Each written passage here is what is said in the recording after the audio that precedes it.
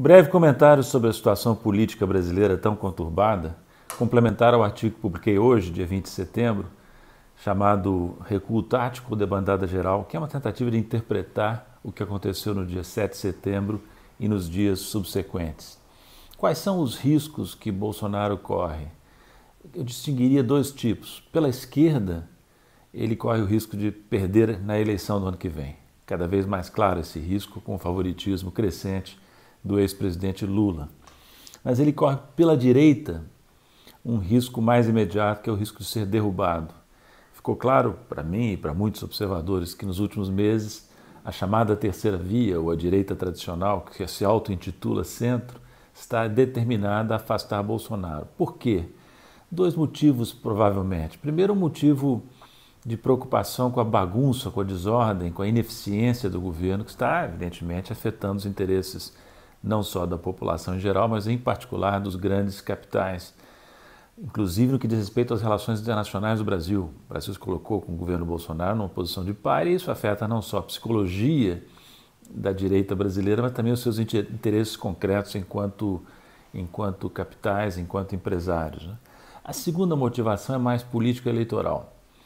Ficou evidente para mim, acho que muitos já perceberam isso, que a chamada terceira via não é viável na eleição do ano que vem se persistir o quadro de polarização entre Lula de um lado e Bolsonaro de, outro.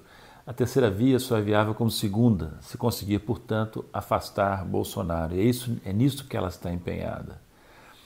O, isso se traduz, por exemplo, no comportamento Supremo, já que a Câmara dos Deputados está mais ou menos paralisada ou comprada pelo governo e não e, e, se domesticou, se deixou domesticar pelo governo, pelo menos por enquanto. Né? É visível, nisso é visível o comportamento, por exemplo, do Centrão e notadamente do presidente da Câmara, Arthur Lira.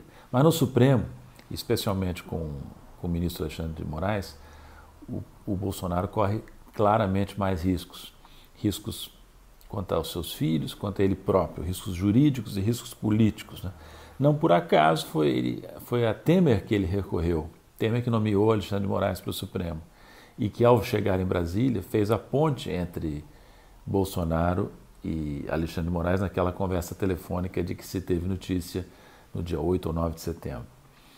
Mas Temer fez questão de frisar, de maneira indiscreta, enfraquecendo o presidente, que nessa conversa Alexandre de Moraes não voltou um centímetro atrás, um milímetro atrás em matéria de posicionamento nas questões jurídicas que tanto incomodam o presidente e, e seus familiares. Apesar do recuo, portanto, Bolsonaro continua correndo riscos sérios. Se escapar do impeachment ou de uma derrubada, chega combalido na eleição, tudo indica, e terá dificuldade de, de, de vencer. Portanto, se houver condições, acredito que o risco de que ele tente algo daqui até as eleições, antes ou logo depois das eleições, o risco de um golpe continua presente. Fica mais duvidoso, depois do que aconteceu no dia 7 de setembro, se ele tem efetivo apoio para dar um golpe, mas o risco continua existindo.